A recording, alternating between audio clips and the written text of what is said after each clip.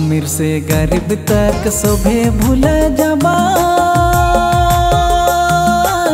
वचन के पलट के क्यों नहीं देखबा